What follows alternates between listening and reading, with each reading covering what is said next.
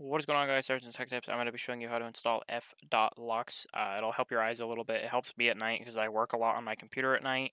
Um, so I'm going to be showing you how to install it. It's going to just be a quick tutorial. So the first thing you're going to do is go to the link in the description below. It's going to bring you to this page here. Uh, you're just going to click download f.lux and then download should start. Click open.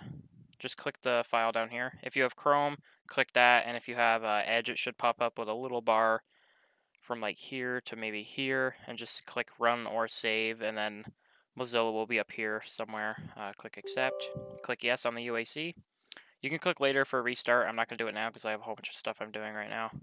Uh, and then put your your uh, zip code in. I don't care if you guys know it. It's not like you could do much. Click OK. And then it should change your screen temperature. And I usually like to go around here. Sometimes I go down to here. But what I like to do is I have to wake up at 6 for school and work. So I'm going to say 6 a.m.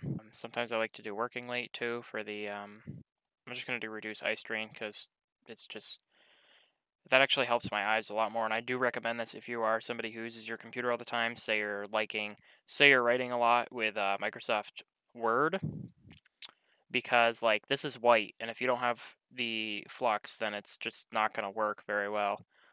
Um, your mouse cursor does show up white, like bright white, but I usually just get a black cursor and I deal with it but uh, yeah, so quick tutorial. Like the video if you liked it.